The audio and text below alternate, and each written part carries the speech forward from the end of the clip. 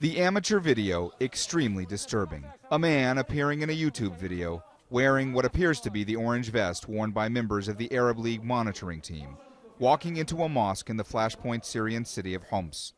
He's taken to see the body of a five year old, reportedly a victim of the continued crackdown by Syrian security forces.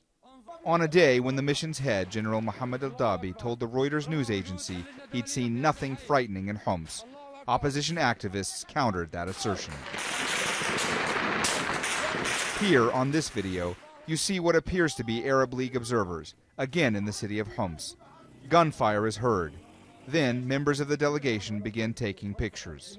More members of the monitoring team in Syria were to have visited three other cities, Hama, Idlib, and Daraa, but that was delayed for what one source tells us was logistical reasons. CNN cannot verify the authenticity of this video, but it appears to show Syrian security forces coming under attack in Daraa.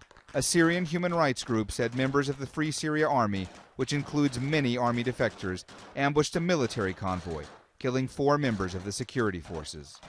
Just a few glimpses during week one of the Arab League observer mission in Syria. Mohammed Jamjoom, CNN, Cairo.